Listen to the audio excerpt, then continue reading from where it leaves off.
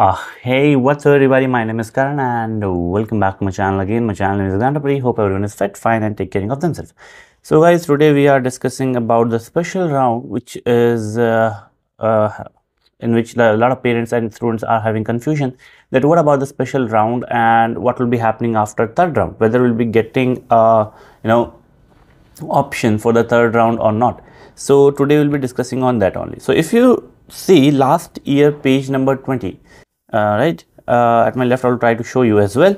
So last year page number 20 special round they had clearly mentioned that registered registered eligibility applicants who have already paid the fees but not got any college the earlier will be considered for the special round. So they had clearly mentioned that registered candidate who had not availed any seat in the earlier means first second third round they had not got any seat in the allotment. They are only eligible for the allotment and the applicants need to fill a fresh choice filling earlier before first round to would clear applicants who have declined the allotment or withdraw cancel their applicants at any stage not eligible for the special round. Okay the applicants need to fill a fresh choice filling okay and choice filled earlier before first round would be cleared.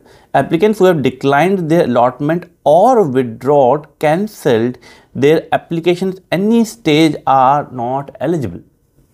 So if you had not got any seat the first thing or if you have you know uh, till third round you had like applicants who have declined their allotment or withdrawn cancellation their uh, applicants then if you have done the cancellation and withdraw from the counseling then also you are not eligible for the third round. Uh, there's another thing which they had mentioned. Application are logging in the portal special round.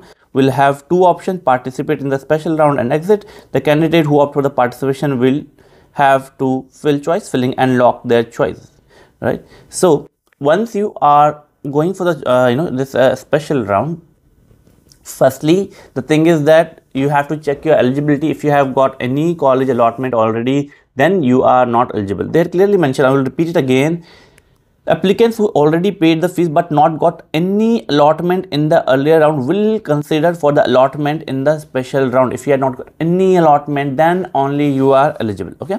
Applicants after the logging in, once you are done with that thing, then after logging in, you will be finding if you have not received any allotment then you will be having a participation in the special round. There you can participate and do you can do the choice filling again. So you will what will be happening? You will be getting a seat no, no vacant seat uh, list by the time. And as per that you can do the choice filling again and you can get the college. If you see there is another option of intra sliding intra sliding would be conducted for all the admitted candidates on the date mentioned schedule on the basis inter selection vacancy exists the particular institute on completion of the admission process. The original choice of the branch filled by candidates only be considered and no fresh choice filling uh, will be there. Okay. So intra sliding is basically you can slide your choices in particular college.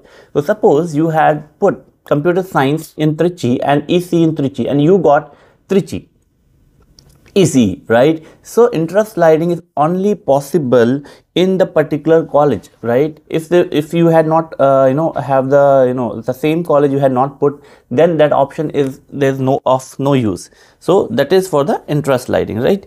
So these are the two cases where everyone was you know getting confused. I hope now i make it clear. If you have any queries you want to go for the individual counseling you can join us. And by the time thank you. Have a great day